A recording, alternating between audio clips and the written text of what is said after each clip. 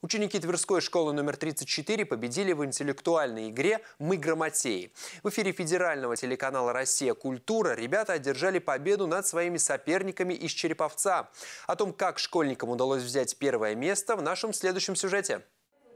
Девятиклассница Арина Гущина и ученица 11 класса Мария Веселова влюблены в русский язык и литературу. Поэтому с вопросами, которые задавал ведущий в телеигре «Мы грамотей», они справились без труда. Например, нужно было суметь расставить однокоренные слова в алфавитном порядке, просклонять числительные, определить значение устаревших слов. Кстати, именно это задание ученицы назвали самым сложным. Э, это слово многозначно, и мы указали его значение как ловушка, а оказалось, что западня – это погреб котором хранятся какие-то вещи. И в этом случае мы оказались неправы.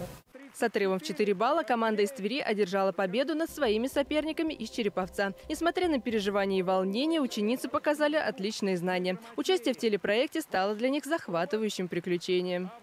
Это бесценный опыт, это новые знания, это э, привило интерес к более углубленному изучению в дальнейшем русского языка и ну, подарила новые впечатления незабываемые.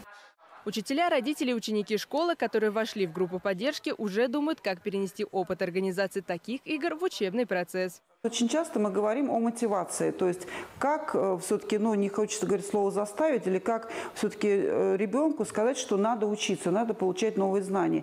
И, конечно, когда вот изучение предмета есть возможность получить новые знания в ходе игры, это, я считаю, очень важным. Это пробуждает интерес. И даже после передачи у нас и другие ребята заинтересовались.